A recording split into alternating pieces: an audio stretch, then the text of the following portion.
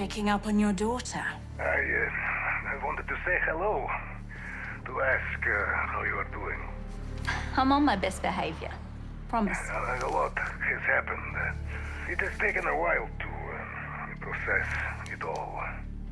Process it all. Who are you and what have you done with Ravenov? So what are your plans? What is next for Dr. Jensen? You are checking up on me. Eva. Chill out. I'm glad you called. I tried the whole vacation thing, I really did. But I needed to keep my mind occupied. I kept thinking about Miller's report.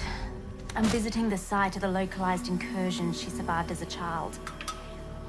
Liberty Falls is even more of a one-horse town than I'd suspected. Why? Eva,